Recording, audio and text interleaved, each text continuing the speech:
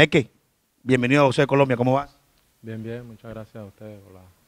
Bueno, este, en realidad creo que esta es una de las mejores preparaciones que he obtenido y con los entrenadores que están aportando su granito de arena, esta pelea que viene es muy importante y me siento muy bien, al 100%.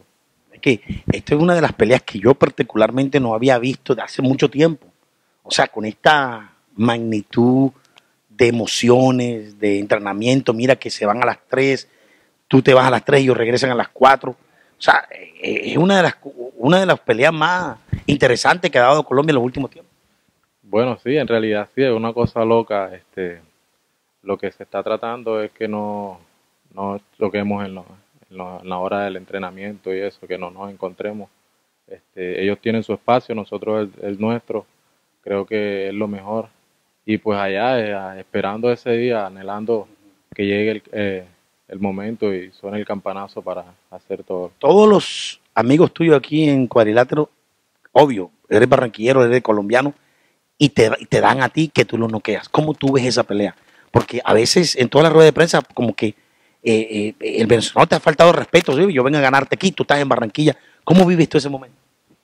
Bueno, en realidad, este, eh, respeto mucho a los rivales y, y del nocao, la gente lo que espera es un nocao de mí porque el apodo lo hice, el meque. Y, y no, confío en mi pegada, pero el nocao viene solo.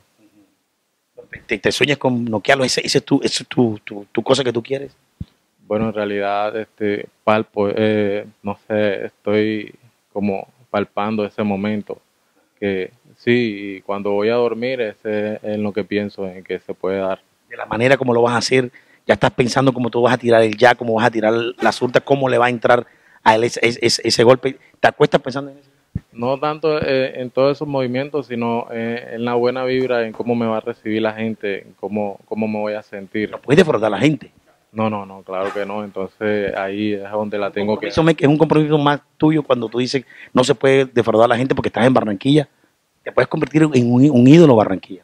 Sí, sí, en realidad sí. Y eso es lo que me motiva en el día a día para darle duro a cada entrenamiento, ya como lo puedes ver hoy. Este, no ha sido fácil y, y, el entrenador Jen este, es exigente y eso es bueno porque hace a uno más fuerte y, y, mentalmente te prepara como un campeón y te lo, te lo inyecta ahí y, subimos allá con esa, esa mentalidad de, ganar, de, de, darlo todo y tenemos la ventaja de que acá los golpes lo, los damos con, con, la intención de hacer daño, ¿sí? Pero no, no estamos en que por marcar puntos ni nada, ¿no?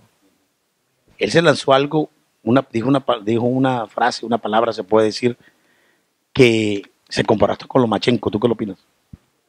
Bueno, no. De Lomachenko, creo que cada boxeador es, único y tiene su, especialidad. Eh, no se puede comparar tampoco con Lomachenko y él se está basando a lo que fue la pelea de salido con Lomachenko, creo que está cometiendo un error. Eh, Lomachenko creo que tuvo una, una, preparación, una preparación muy diferente y, y bueno, no, no, no, se puede, no se puede llevar eso a la mente que no se puede comparar con Lomachenko nunca. ¿Imaginas ese coliseo? Bueno, sí, en realidad. es que pues, antes de irte para Estados Unidos, para donde tú te vayas a ir, porque sabemos que pasando esta pelea ya tú no vas a estar más aquí. Ese es el último, la gente se va a recordar de ese gran día. Yo creo que es más compromiso todavía. Sí, sí, en realidad sí. Este, en parte eso me llena demasiado porque ya creo que ya es el cierre aquí en mi tierra y es donde tengo que entregarla toda ya para cerrar con broche de oro. ¿Qué decir a toda la gente de José de Colombia? Que no se pierdan esta